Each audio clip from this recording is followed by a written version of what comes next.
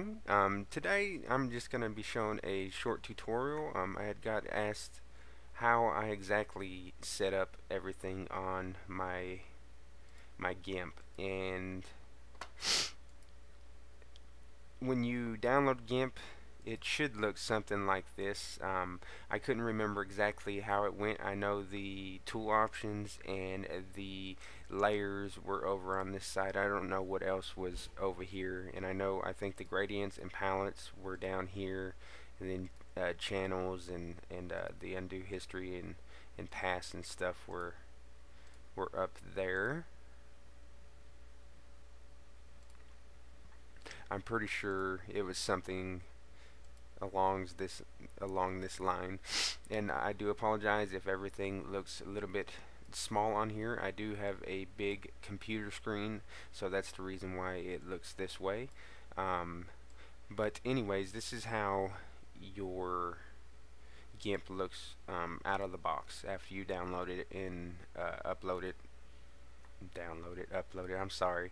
After you download it and run it and install it on your computer this is how it looks pretty much in a nutshell. And I I, uh, I worked with Photoshop for a long time and I just got uh, things are easier for me to use in single windows mode I like it that way and out of out of the box I just don't like the way GIMP is set up I just I I like to personalize it and stuff more for myself. Um, and of course, your GIMP ain't gonna look like this. Um, it'll be white and stuff. I have a theme installed. Um, I have a couple tutorials on how to install themes, so I'm not gonna go over that today. Today, I'm just here to show you how to set up your your GIMP. So what we're gonna do here to take this out of this mode is we're to go up here to our toolbar and we're going to go all the way over and we're going to go to Windows and then we're going to go down and we're going to click on single Windows mode.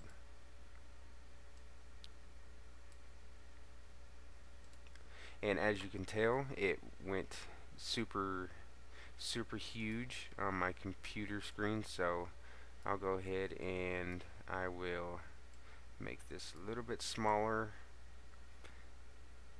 so this is how this will look like for everybody once you hit the single windows mode. Now all these dialogues dialog boxes they are all you could click and drag and drop them. So if you just drag it out of there you see it's gonna pull up and it's gonna be a little box here and all you have to do is just set to set it wherever you want is you just go over here and you just drag and drop into a toolbar that you want. And I'm sorry that it's not gonna let me show you uh, that but you make sure when you go to drag and drop it you don't drag grab the window you grab the tab. Grab the tab and drag it over and just drop it in wherever you want it on this side that side. But I'm sorry for some reason my screen capture program it don't let me do that for some reason. It's like it overrides something on GIMP. So I'm just gonna go ahead and hit this red X over here. And I like my layers um, over here on this bottom dialog box thingy over here. So I'm gonna go ahead and go over here down here and I am going to click on this little um, circle thing with the triangle in it kind of a backwards YouTube logo looking thing. And I'm going to click right here and I'm going to go to add tab and I'm going to click on layers. And that added my layers tab over here. And I don't like having the palettes up. I only use them um, when I am making something that I want to keep the same color palette in and these are pretty cool. You just you just double click on them and they'll open up over here automatically and if you have let me go ahead and click on this red X to get rid of that. If you go to file new so let's go where's it at? I'm not used to this over here so I just lower the size and you could just use whatever color you want and just click on it and it'll change to that color. But anyways so we're gonna go ahead and get rid of that and just click right here to get rid of uh, the boxes. You'll just want to click back on this little icon over here and you'll just go down to close tab.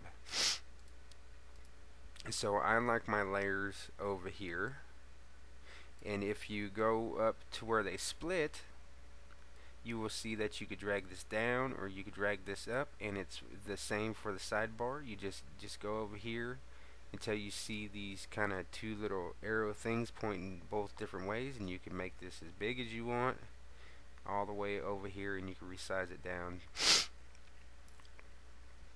to whatever you want and normally I think they have the gradients open over here. And I don't uh, I mean I use gradients a lot but I don't care to have to have this tab open over here. So I could just come and drag and, and if you want that open that's that's fine. You could put it wherever you'd like. I just I don't like it being right there. So I'm gonna go ahead and click off of it because when you go over here to your gradients tab you could click right here and they have all the gradients right here anyways. So that's the reason why I don't like having extra dialog boxes open. Um, so and then we have the channels and paths up here. I'm pretty sure these are these two are uh, open up here automatically. I don't like to have mine my paths up here so I'm gonna just come and if I, I wanted to put it down here but like I said I do apologize for my screen capture program. Um, but where I just grab that come and drag and drop it there and it would automatically go into this dialog box. But it's not doing that because of my screen capture program. So I'm gonna go ahead and exit off there and I'm gonna click right here on this little icon and I'm going to go over here to add uh, tabs and I'm just going to click on channels. And so now I got these two. Sorry about that. Click over here layers. So now I got these two. I got the channels and the layers over here. Now um, in the undo history I like having up there so I'll keep that up there. The paths tab it's the same thing. I like the paths down here so I just come and drag. You'll just grab that little tab grab it pull it down and then you will just take it to where you want it and you'll just drop it in there and it will go in there. And I like I said I do apologize. It's not gonna go in there for me. So for me I'll have to come click right here add tab and then put paths so now I got my channels, layers, and paths. I like keeping these down here because of course you use the layers all the time so and for me it's more comfortable to come down here to the layers. And I like keeping the channels here and I like keeping the paths here. I like having everything to do with layers down in the same uh, add tab layers. I like keeping everything that has to do with layers down here in the same dialog little toolbox thing down here. Um, and so for the tool options I don't like it over here. It's just kind of weird for me to come over here. I like keeping everything over here on this side. So I just come, I drag, I like keeping these up on top up here. And so I come, I grab them, I drag, and I would, would drop them right here, and they would go in there. But the sad screen recording program that I'm using. So click off of that and I'll go over here to add tab and just click on tool options and now I have my tool options over there. Now I did uh, download a new screen capture program. It's called um, Action by Mirillis I think. And um, it looks pretty awesome. I, haven't uh, purchased it yet because I am still playing around with it and I'm wanting to see if it's something for for me. So it's like I said, it's called Action by Mirillis. And let's see here. We'll just go there, go down, and find it. Yeah, it's Mirillis. Action by Mirillis.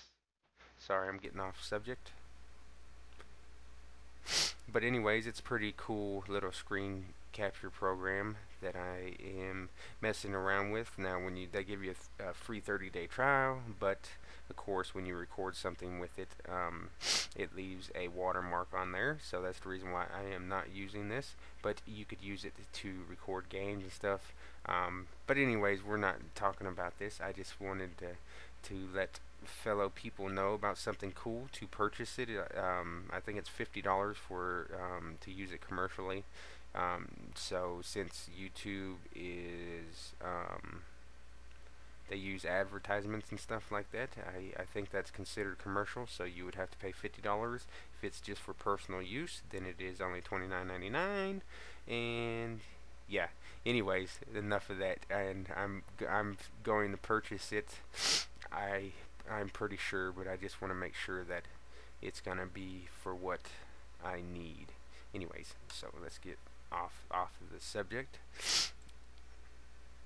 So anyways, so back to subject. Sorry, I got a little sidetracked there. Um, I got the my tool options up here, and I like keeping the undo history up here. And like I said, for me, it's more comfortable that way. And plus, I do have a pretty large screen, so it's just easy for me that way. Um, and like I said, I, I used Photoshop for a very long time. But anyways, um, what is that? Oh, okay. I'm sorry. I just was looking at something there. Um, so I like keeping my tool options and my undo history up here and the other window that I like having up here is the navigation so we'll just go over here to this little icon and we'll go to add tab and we'll go down to navigation and I just like having this up here because if you're drawing or or or something in that manner um, it's just it's very easy to just click over here and zoom in and get real up close and personal and, and stuff. Anyways I like having that there in my tool tool options and my undo history. I like having that there also. So so I like keeping everything to do with layers down here. And this right here I don't Yours don't come standard looking like this. Um, I don't believe anyways, not unless they added all this stuff on here with GIMP. But I downloaded a a plugin package um, off of the GIMP registry, and it had uh, a bunch of plugins and everything for GIMP on there, and it installed directly. So, because I think this comes with the GIMP Paint Studios by, um, I do apologize to whom who did that version. Um, but it comes with a bunch of different stuff. Anyways, I don't like having this open at all unless like I said I'm painting or or something like that then it's good to have open but we're gonna go ahead and click off of that and if you come over here you will get them two lines that line up and I like just dragging this over here to make these more smaller and, and compact.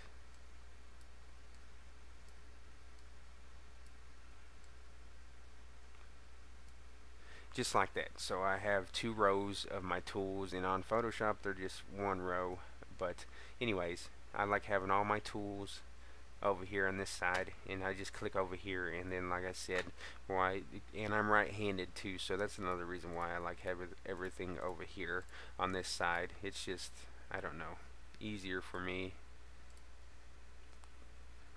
to just come over here and click on the tool that you want and then and plus I also use shortcuts a lot so. But that is the reason why I set mine up like this and this is how I set it up so like I said it just when you come it's gonna when you download it and install it it's gonna be just like this. Well it's not gonna be just like this but you'll have a different window for each one. And all your your tool options and everything will be over here. So you just want to go to Windows single window mode and you'll put it back into single window mode. And like I said all you got to do is just grab one of these tabs drag and drop to wherever you want this. Let me check something here. Okay, we're still recording.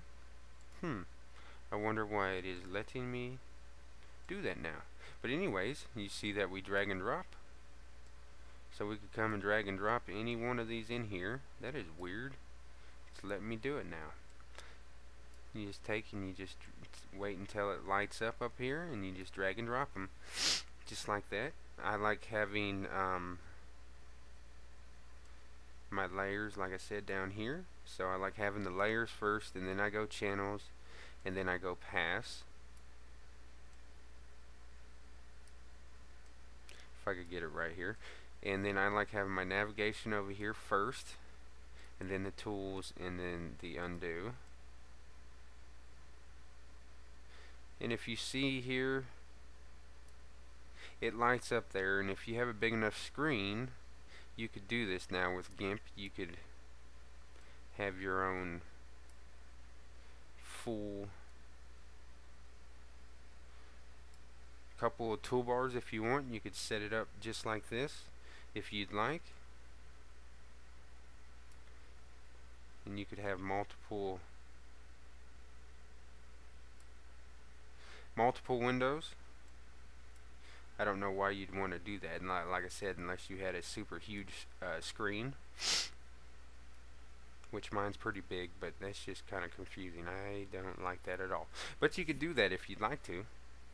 So we'll just take our channels and we'll just drag and drop them back over here. Our paths, drag and drop them back over here. Our tool options, just grab it by the tab. Remember you got to grab it by the tab. Bring it up here, drag and drop it. Grab our navigation, bring it over here, drag and drop it. And then you come over here and wait until these two little arrows pop up and then you just resize it back down. And there you go. You have uh, your standard single Windows mode. And normally mine's like this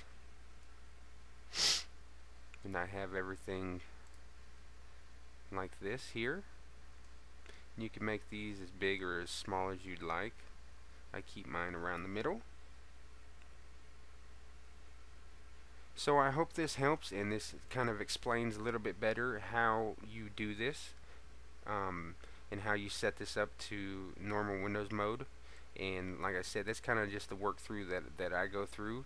Um, like I said, I used Photoshop for a long time, and their their tools are just over here on the side, and then they have everything else over here on the right hand side, and it just I don't know makes more sense to me. They have a little arrow over here. You could use your files and and all that stuff, and that down there, that little um. Let me go ahead and make this smaller for you and that little if you look down here there's a little kind of looks like the the rolling ants down here or but or the selection whatever you want to call it and they're called marching ants but um, you click this and you can turn on uh, toggle on the quick mask mode and oops cancel if you want to quick mask